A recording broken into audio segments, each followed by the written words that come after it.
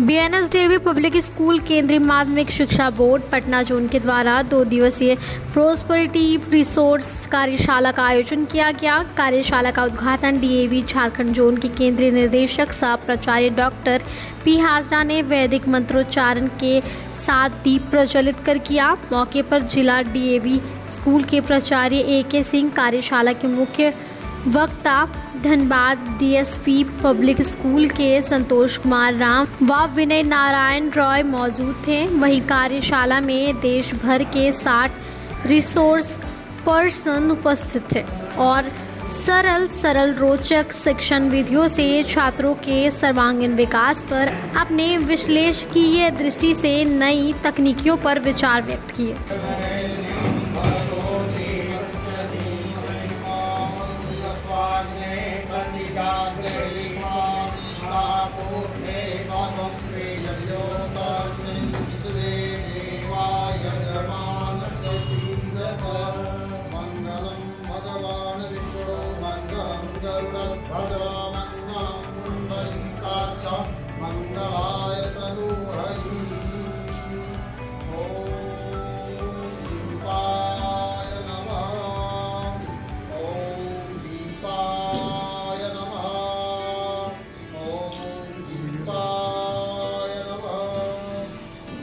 कार्यशाला को संबोधित करते हुए क्षेत्रीय निर्देशक सह प्राचार्य डॉक्टर पी हाजरा ने कहा कि कार्यशाला का मुख्य उद्देश्य व्यक्तिगत रूप से भाग लेना,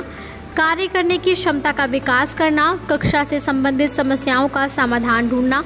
शिक्षा तथा शिक्षा से संबंधित नए उपगामों का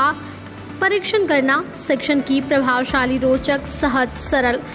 प्रविधियों का निर्धारण करना होता है। कहा कि बालकों के सर्वांगीण विकास की हमारी प्रतिबद्धता निरंतर समर्थ और समर्थ तरीके से ये शिक्षण के कार्य को पूरा कर सकते हैं It's pleasure to welcome you all. थोड़ा सा मैं देख रहा कि आपका जो चेहरा पर जो है ना रौनक नहीं है